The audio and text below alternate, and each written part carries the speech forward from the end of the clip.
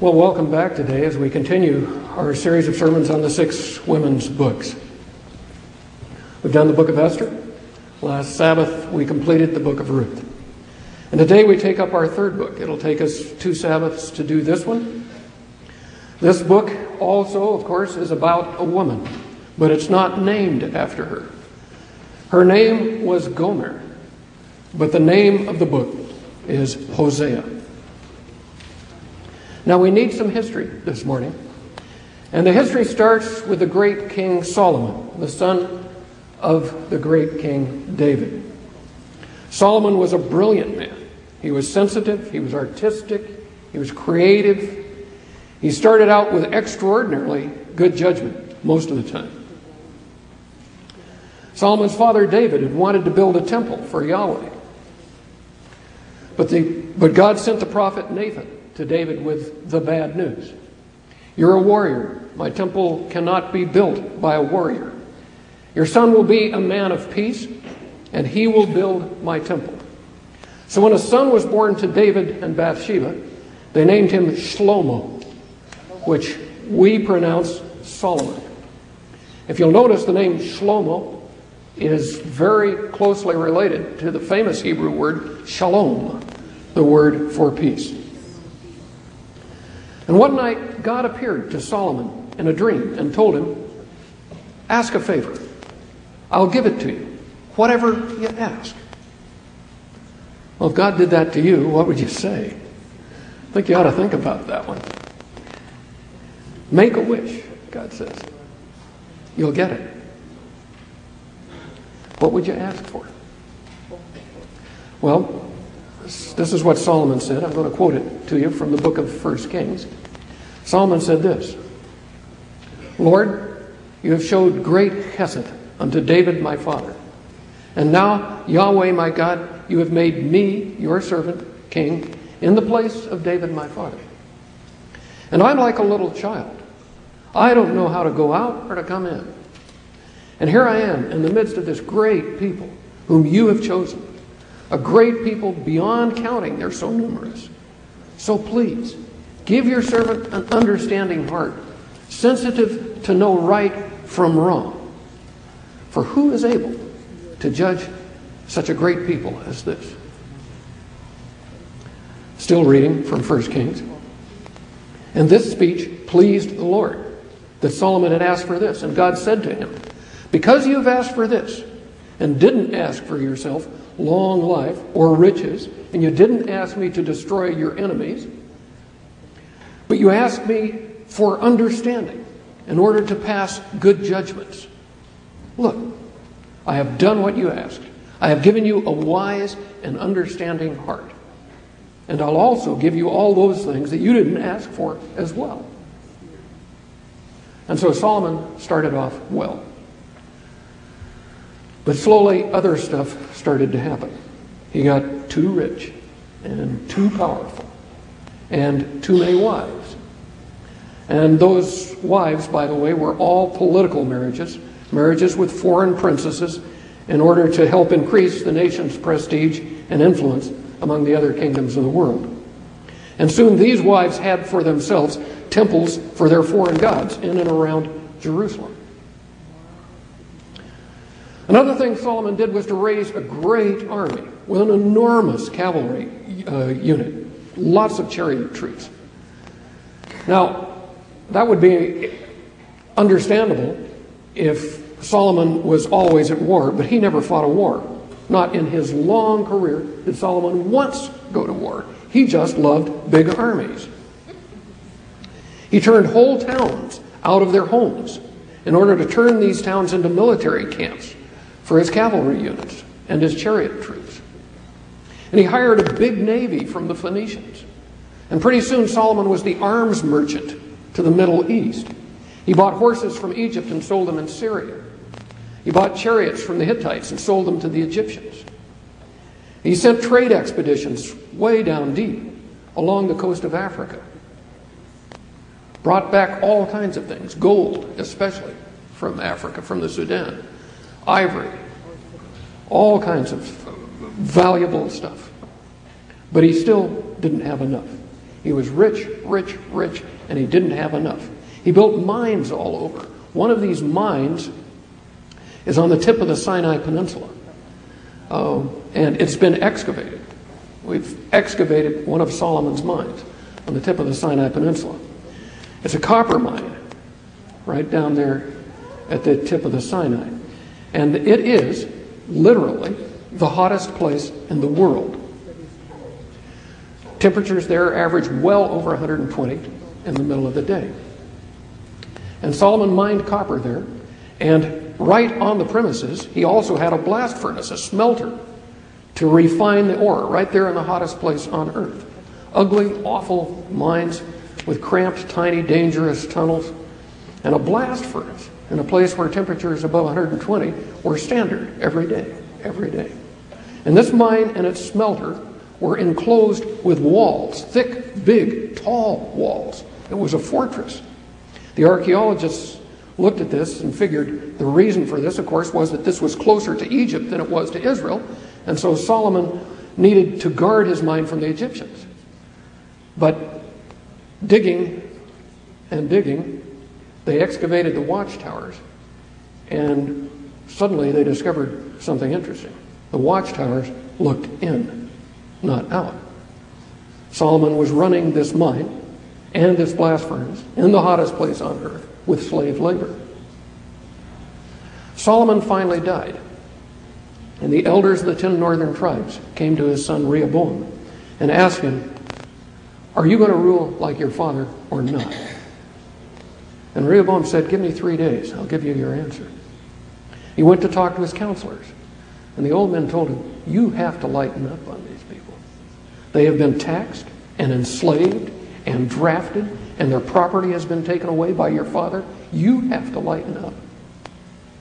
But the young men told him, Who's king here? Don't let them get away with this. Show them how strong you are, or else you're going to lose control. So three days later, the elders gathered to face their king. And Rehoboam told them, My little finger is thicker than my father's waist. He whipped you with whips. I'll whip you with scorpions. The elders of the ten northern tribes said, See you later. And they walked. Rehoboam started organizing his army to force them to return. But a prophet came to him and said, No. God says, No. You have made your mistake, and you have to live with it. And from then on, there were two nations instead of one. The Jewish people were divided into two separate nations. Ten tribes in the north formed a nation called Israel. The ten northern tribes named themselves Israel. The two tribes in the south formed a nation called Judah. You see the blue Mediterranean Sea on the west, on the left of the map as you look at it. You see the little Sea of Galilee way up north, and the Jordan River running down the middle to the larger Dead Sea down in the south, at the bottom of the map. The northern kingdom, Israel, is in magenta, and the southern kingdom, Judah, here, is light blue. Judah, the two tribes in the south, it's a smaller kingdom. It was much more isolated and insulated from foreign influence. It went its way as a quiet little backwater for hundreds of years. While its richer sister in the north, Israel, was much more in contact with the outside world. During this time, when the Jews are mentioned in the records of foreign courts, it's always the northern tribes that are mentioned. They were the ones that the world knew about. But slowly, little by little, the ten tribes in the north began to pattern themselves more and more after the kingdoms around them. More and more, the kingdom, the people of the northern kingdoms imported other gods and forgot the one true God, the creator of heaven and earth, the God who had brought their ancestors out of Egypt. And in Israel, the northern kingdom, the upper class got richer and wealthier and greedier, and they fought over the crown. King after king was assassinated and overthrown with a coup. Nine assassinations in 200 years in Israel. And while all of this was going on, deep, dark shadows gathered in the outside world. far in the north, a kingdom started to rise. Its name was Assyria. And year by year, it began to throw its long, cold shadow across the Middle East. Okay, here on the map, here you see a map of the Middle East. On the far west, to your left, you see a little rim of the Mediterranean Sea. Way up in the top corner here is just the edge of what is today Turkey. Today, that's Kurd country. The blue water in the bottom right corner is the Persian Gulf. And running down into the Persian Gulf are two of the most famous rivers in the ancient world the Tigris on the left, on your right, I'm sorry, on your right, and the Euphrates on your left. Both of these rivers are today in Iraq, although for much of its length, the Tigris is the border between Iraq and Iran. Okay, the red square going on the map is the location of the ancient city of Babylon, right on the Euphrates River. And far over on the left, next to the Mediterranean Sea, you see the tiny little kingdoms of Judah in the south and Israel in the north. Once again, magenta for Israel and blue for Judah. Do you see them? Okay, there they are. Now, also going on the map now is Assyria, a bright green area a little hard to see in this light, probably, up here, way up in the, in the headwaters of the Tigris River. There were several great and powerful cities scattered through the Assyrian realm, but only one of these cities will you recognize, right here, the Assyrian capital. Its name is Nineveh, a name that casts fear throughout the pages of the Old Testament. Nineveh. Okay, don't confuse the Assyrians with the Syrians. Uh, by the way, Syria is a small country. Uh, Duke, going back one. Syria is a small country just above Israel. It's in the same place today that it was in the Old Testament times. And it's not related to Assyria. Totally unrelated countries, unrelated peoples. Syria was the northern neighbor of Israel and Judah. Uh, the Assyrians were different. They were the cousins of the Babylonians. Yeah, Syria is right up in here. This is Assyria, totally unrelated uh, nation. Related to the Babylonians, almost spoke the same language. But the Babylonians had a high culture. They had sophisticated art and painting, architecture, literature but not their cousins, the Assyrians. The Assyrians were warriors and nothing else. For hundreds of years, they did nothing but fight. There was a universal and perpetual draft. Every man in Assyria served in the army. And during the Assyrian heyday, there was a tradition that developed that was repeated year after year after year for about 300 years. On the first day of spring, the high priest of Ashur. Uh, Ashur is the uh, uh, high god of the Assyrians, the sun god. The high priest of Ashur would mount the east wall of Nineveh above the eastern gate, and at the crack of dawn, he would lift the winged disc to the sky. The winged disc is the symbol of Ashur, the sun god, the principal Assyrian god. And as the rising sun glinted off of the winged discs, the trumpets blared, the gates of Nineveh swung open, and the great Assyrian armies marched. One army east, one army west. And they campaigned all over the world, all through the spring, all through the summer, all through the fall. Every year, year after year, three seasons of the year, the Assyrian armies were fighting somewhere in the world. And on the first day of winter, the gates of Nineveh would open, and the Assyrian armies marched back in. And all winter long, they would carve the records of their great victories on the walls of their temples and palaces. And the next year, on the first day of spring, the ritual was repeated, and once again, the armies of Syria would march.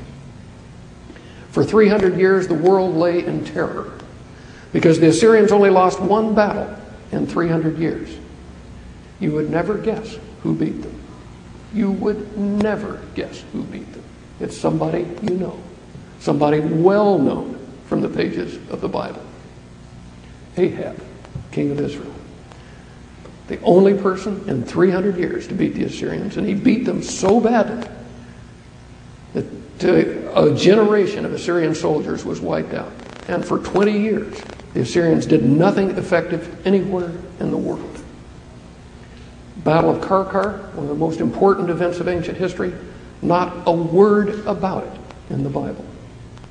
I think we should probably take a lesson from this that the Bible does not tell us everything.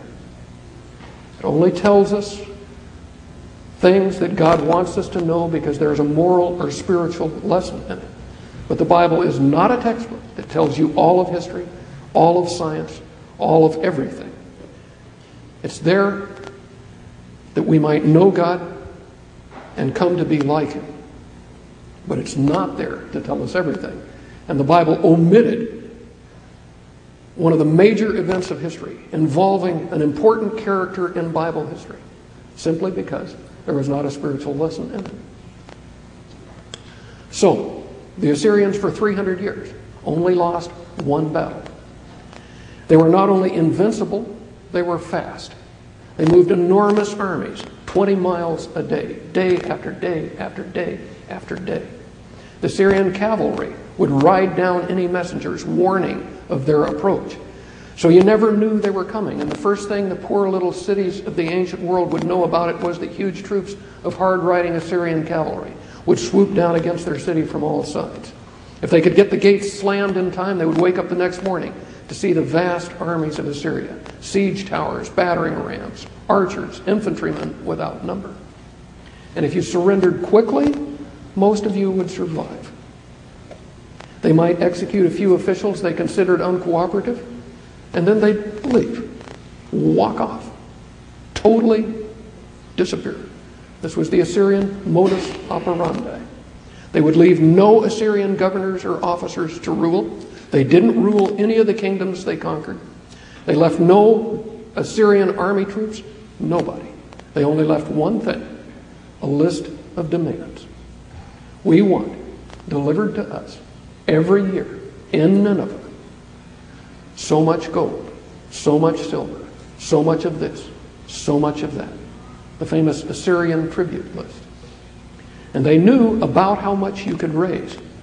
And they aimed at about one third to one half of your gross national product. And every year, on New Year's Day, we want it delivered to us in Nineveh. And year after year, the ambassadors of the thousand little city states in the Middle East appeared in Nineveh with their tribute. It was such a heavy burden that your whole population was reduced to poverty. But you didn't even think of not paying. Because everybody knew that on the first day of spring, the Assyrian armies would march again, and woe betide the little city that hadn't paid its tribute. Its walls were turned down, its houses were burned to the ground. The women and children were thrown off of the walls or carried off to be sold as slaves. The men were skinned alive or impaled on stakes. For the Assyrians, it was just another day at the office. And it's against this background that we have the book of Hosea and the story of Gomer. God's people in the little northern kingdom of Israel have gone further and further from Him. And they never needed Him more. There is a mounting terror to the north. God wants to protect them against it, but He can't do it if they won't put their lives in his hands. Over and over again, he sends them prophets, pleading with them to come back to him, offering forgiveness and love and safety and protection. But they can't hear and they can't listen. They're buried in their own schemes, in their own frantic search for wealth, for pleasure, for power, for influence. They can't hear him. And so, last of all, God sends them Hosea, the last prophet sent to the little kingdom in the north, to Israel. God has tried everything else. He hopes that a prophet whose message is his life, and whose life is a tragedy, whose life is a story of love gone bad, he hopes that maybe this will be vivid enough to catch somebody's attention. So here it is, the book of Hosea. I have my own translation. I think many of you got this when you came in. I hope the deacons have other copies of this.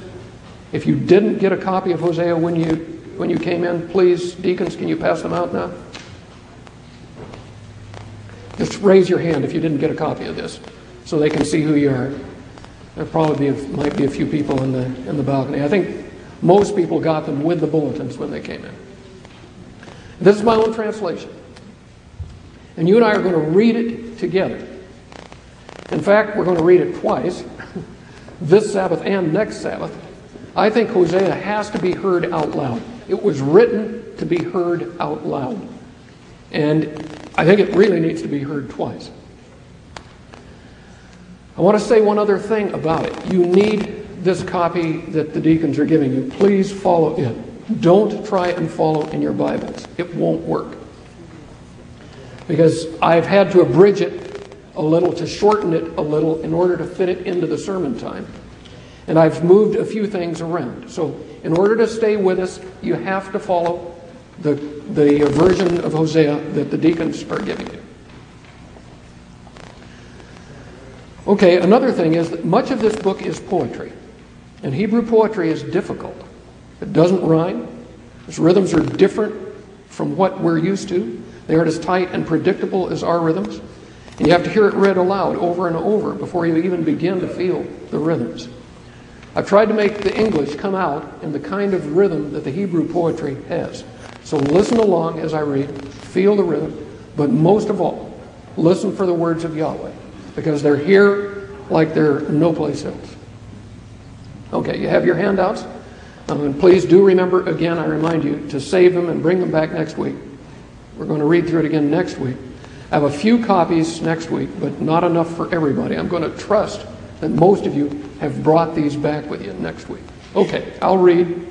You read along silently with me. The word of Yahweh, which came to Hosea, son of Beeri, during the reigns of Uzziah, Jotham, Ahaz, and Hezekiah, kings of Judah, and during the reign of Jeroboam, son of Jehoash, king of Israel. Gomer. This is the beginning of Yahweh's message by Hosea. He said, Go, marry a whore, and have children. For like a whore, this whole land is unfaithful to Yahweh. So I went and I bought Gomer, a worthless person. And soon she bore a son. Yahweh said, Name this boy Jezreel, for in a little while I will punish the house of Jehu for the blood they shed in Jezreel, and put an end to the kingdom of Israel. On that day I will break Israel's bow in the valley of Jezreel. Gomer again became pregnant and bore a daughter, and Yahweh said, Name her unloved for I will never again show love to Israel and never again forgive them. She weaned unloved and bore another son. Yahweh said, Name him not mine, for you are not my children, and I am not your God. God's case against Israel. Hear the word of Yahweh, O Israel, for Yahweh has a charge to bring against the people of this land. There is no faith, no stubborn trust, no knowledge of God in the land. Love has dried up from the ground. Oaths are imposed and broken. They kill and rob. There is nothing but adultery and evil, one deed of blood after another. Therefore, the land will dry up, and all who live in it shall pine away, and with them the beasts and the birds of the air, and the fish will be swept from the sea. Put the trumpet to your lips. A vulture hovers over the sanctuary of Yahweh. They have broken my covenant. They have rebelled against my teaching. And they cry to me for help. We worship you, God of Israel. But Israel is loathsome. They shall run before the enemy. They make kings, but not by my will. They set up officers without my consent. They make themselves idols of their silver and gold. Your calf gods stink, Samaria. My anger flares against them. Long will it be before they prove innocent. For what is this bull? A craftsman made it. This calf of Samaria will shatter in fragments. The shadow. What is that, captains of Samaria? Look down from your watchtowers, princes of Israel, Every day it grows taller against the Aram gate. Cold and gray, it makes no sound. The shadow inches toward the top of the wall. Every day sees it closer. The siege tower of Shalmaneser, king of Assyria. What shall I do? What shall I do with you, Ephraim? How can I deal with you, Judah? Your hesed is like a morning cloud, like the dew, it goes early away. So I have slashed at you by my prophets. I have attacked you with my words. For I want hesed and not offerings, and the knowledge of God instead of pious words. When Israel was a boy, I loved him. I called my son out of Egypt. But the more I called, the further they went. They sacrificed to the Baals. They burned their children before carved idols. It was I who taught Ephraim to walk, I who had taken them in my arms.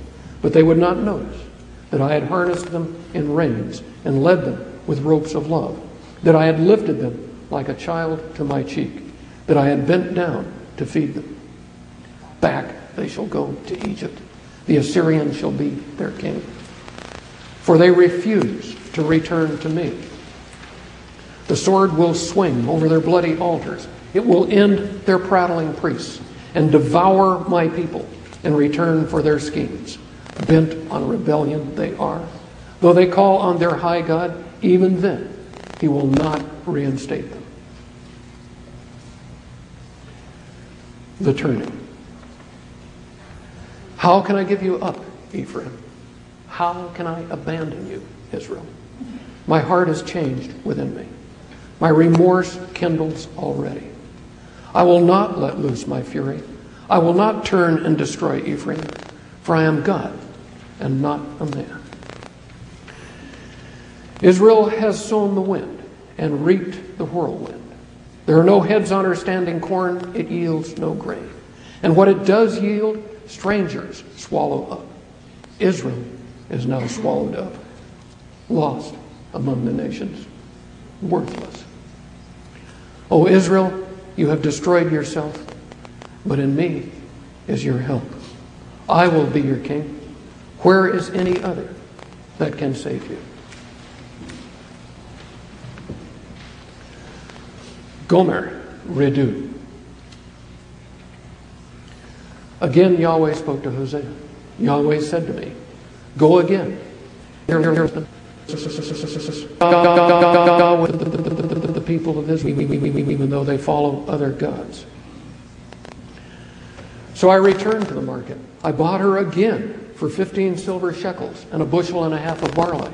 And I said to her, Come home, be mine, not offering yourself to others, and I will be yours. For Israel's children will be kept for many days without a king, without a leader, without sacrifice or sacred house, without ephod or teraphim. Afterward, Israel's children will come back. Yahweh, their God, will pay their price and bring them home once more.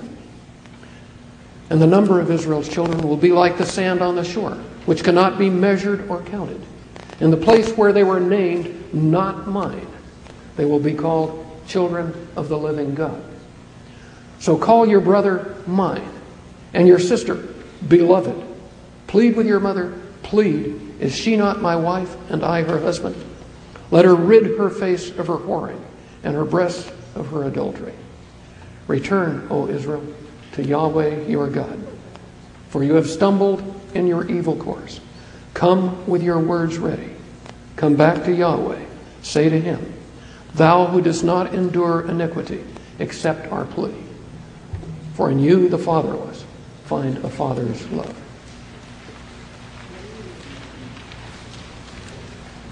Yahweh speaks. I will heal their apostasy. Of my own bounty, I will love them. For my anger is turned away from them. I will be as dew to Israel, that he may flower as the lily, strike root as the poplar, and send green shoots as the pine. That he may be as fair as the olive, and as fragrant as Lebanon. Israel shall again dwell in my shadow, and grow corn in abundance. They shall flourish like a vine and be famous as the wine of Lebanon. I have spoken it, and I affirm it. I am the tree that shelters you. To you, to me, you owe your fruit. Take note. Let the wise consider these things, and let him who considers take note. For Yahweh's ways are straight, and the righteous walk in them. That does it for today. Put these away and bring them back next week. We'll continue with this story because the book ends open. When Hosea stops writing, we do not know what will happen to the marriage between Gomer and himself. Hosea has gone down to the slave market. He bought Gomer back again a second time for talents of silver and bushels of barley. And he has renamed the children from unloved to love and from not mine to mine. But we just don't know. Will Gomer stay this time? Or will she run off again? And also, we don't know what will happen between God and Israel. When Hosea stops writing, the question is still open. God has sent them angry announcements of his rejection, and he has promised to take them back. What will they do? When the book ends, we just don't know. So there are two questions hanging at the book at the end of the book of Hosea. And next week we'll find the answer to one of these questions. Just one. And not the other one. Next week, six women's books, Hosea, part two. See you then.